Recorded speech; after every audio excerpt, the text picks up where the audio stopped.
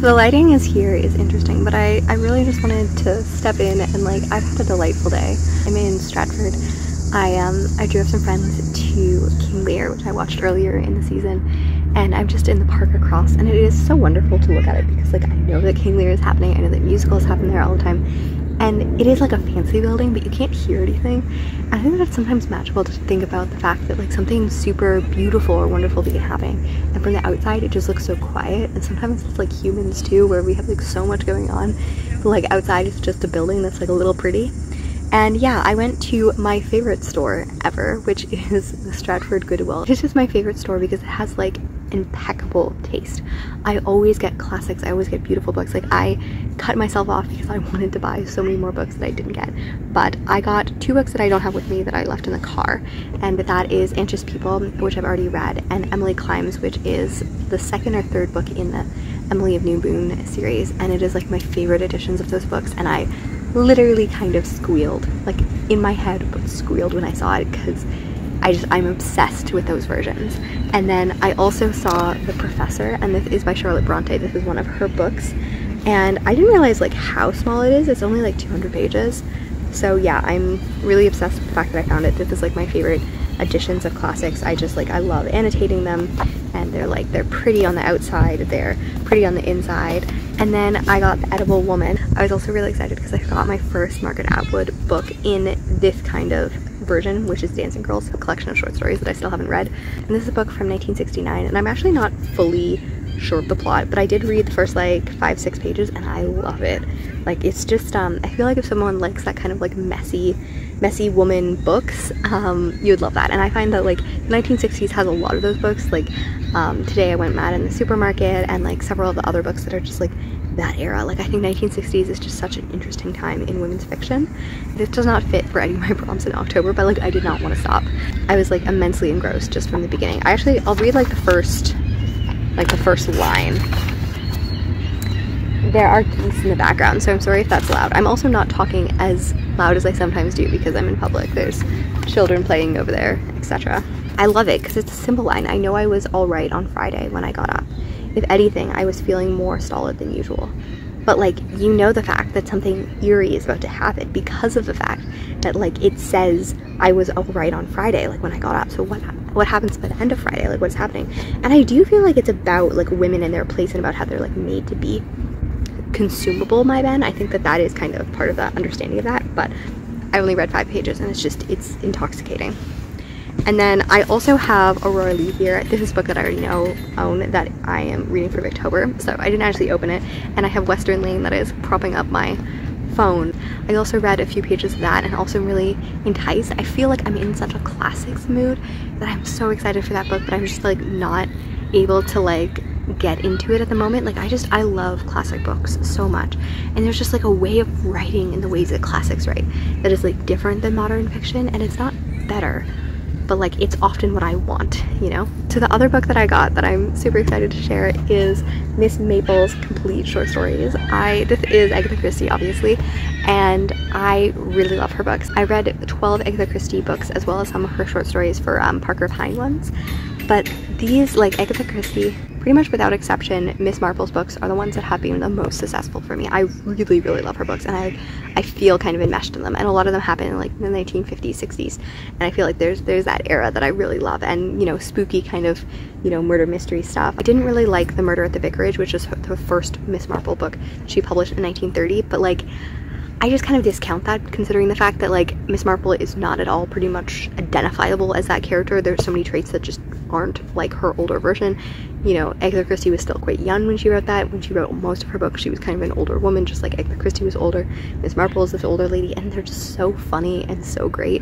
And like, yeah, I feel like, I don't know, I don't have like necessarily room on my TBR to be reading Agatha Christie, but I feel like I can like, you know, read a story or whatever. Like, I don't know. Who knows what I'll do, but by her friend Dolly Bantry is the typical old maid of fiction. Miss Marple has lived almost her entire life in the sleepy hamlet of St. Mary Mead. By observing village life, she gained an unparalleled insight into human nature and uses it to devastating effect. As her friend Sir Henry Clithering, the ex-commissioner of Scotland Yard, has been heard to say, She's just the finest detective God ever made, and Agatha Christie fans are bound to agree. She's just my woman, you know? So yeah, I, I've been feeling like I wanted to read Agatha Christie and I saw this and I, I I was delighted with my full heart. I will also do like a general kind of update on what my reading has been done for October. I have started The Diary of Nobody. This is a book that like is not at all what I had on my TBR, but it is a Victorian book kind of satirizing by not satirizing the ways of just the common class, like lower middle class life and stuff like that. And yeah, it's literally just the diary of nobody. Uh, these two brothers started writing it for a newspaper and then it became a book and I don't think anything actually ever happens and that's kind of the point. Like people in fiction are always dramatic. There's always like big things.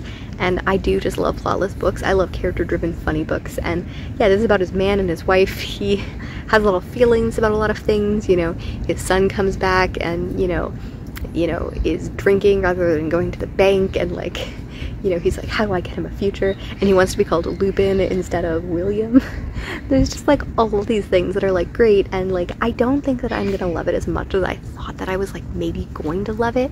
But I think it's definitely gonna be like a solid like three and a half, 3.75. Like I have about an hour left of the audiobook and then I am just overjoyed. This is not Victorian at all, but I love Passed It Classics. Is run by Julia Taylor and Kara and they just go through and each month they choose a book that none of them have read or only like one of them has read or whatever and and they read it and they discuss it and like there are a lot of books that are like the past it you know what I mean? Like the book the classic books that you're supposed to have read but you never read. And some of them are like super popular some of them aren't as popular but you know it's it's a loving classic fiction and they have a live show at the end of each time and it's just so delightful. Even a lot of the books I, I love joining in on the live shows of the books I haven't even read because I just enjoy them talking and discussing and like they're just really intelligent really funny humans that like you know have a good time and are friends and yeah it's just it just makes me happy. So I have had a room with a view on my like to reach out for a long time and I was like I'm gonna read it I'm gonna read it I'm gonna read it. And then I got home from church on Sunday afternoon and I was like oh no I have an hour and a half until the live show. I don't want to be spoiled for this one. So I did like listen to it all and then like ended up talking to people and whatever. I didn't I missed the live show so I'm, I'm rewatching it. But I you know went back and listened to, to it in all the things, but it was just also so delightful because I'm now hearing them talk about it even if it's not live and they're just so wonderful. And like I do think that like it is just going to be one of my favorite books. Like sometimes you want to put a book five stars and I was like, no, I'll put it four stars because it's like not, you know, so, so wonderful. But I was like, no, like I really do love it. And I moved up to five and it's, it's set in 1908 and it's, it, the room with a view is this like, this girl who's a young woman, late teens, early 20s kind of era. And then she's with her cousin who's like, you know, an older maid who's like, you know, doesn't have as much of a life and is a little strict. And they're just in Italy doing life and they meet this couple of people that are socialists and all of that. And uh, you know they're like yeah no no no you have a view. Like you like beauty. And it's just them in Italy and then the second part takes takes place in England and it's very character driven there's a lot of like comic characters. If you like like Jane Austen or you, you like those ones that have like people that are so over the top that you're like laughing at them when they're also like oh no you're terrible. There's a little bit of that and social critique and humor and just wonderful wonderful narration. Like it's some of the best narration I've ever had. And it's like looking at you know the the restraint of England versus like the passion of Italy and like the ways in which and why we use the social mores that we do. I really just fell in love with the story with the writing. I I wanted to like pause every second so that I could like write down quotes. Like I had the intention of like hurrying through it so I could do the live show before it ended. And I was like no like I need to just savor this. It's so beautiful so yeah I haven't done a ton of Victorian kind of things, but I am enjoying it and I'm just, I'm having such a wonderful time enjoying fiction. In September, I made a video kind of about stepping back from booktube because that was my intention at the time. I was nannying and I was just so worn down like physically and emotionally and just how much pain I was in and okay, I'm just like looking over there and there's just like leaves falling from trees and it's beautiful. And even though like my birthday passed, I just like even that week like you know it was my birthday it's supposed to be exciting and like I had people come visit me and I was just like I fell asleep in the middle of the day. I was like I'm I'm so dead tired. The girl that I was nannying um, has like a lot of attachment things. She's like very attached to her mother and otherwise we'll get like really really upset. So we figured that we were hoping that her being at home with someone would be like a good way to like you know, have that. But she was like, no, she's just so upset like all of the time. Then maybe having her in daycare where she's like in a different environment might actually allow her to to calm down because there's nothing there's nothing happening that's bad. It's just that, you know, babies, you know, are attached to their mothers and sometimes find it very overwhelming to not be their mothers. But it's hard when you know, the mom wants to go back to work and stuff. So yeah, it was, it was it was a good experience. I like working with children, but it was also like realize like just how much it takes for me, like as someone with chronic health, to to be standing. And I, I felt encouraged because I sometimes am very hard on myself, and I feel very.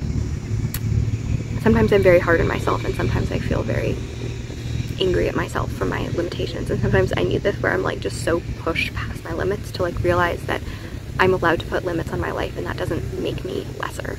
So, yeah, having the stress of working when also kind of accepting that like yes I was pushing myself too much allows myself to enjoy reading and to like actually to dive into that reading again. And yeah I'm just so excited for fall. I'm not excited for winter because you know the winter is cold. It's beautiful but it's so cold and like your bones just ache in wintertime. So I'm so thankful that we're getting like a beautiful, you know, kind of fake summer at the end of fall. Like it's 28 degrees, it's beautiful and lovely. You know, I've got fall leaves all around me and yeah, I I know that it's gonna be cozy and wonderful. And yeah, I just hope this month is a beautiful month, no matter what I read.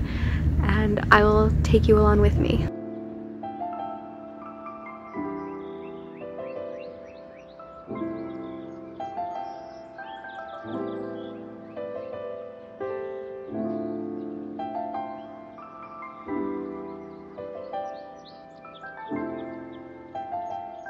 I literally stopped here because I was like, I am going to take pictures in the beautiful, beautiful fall leaves.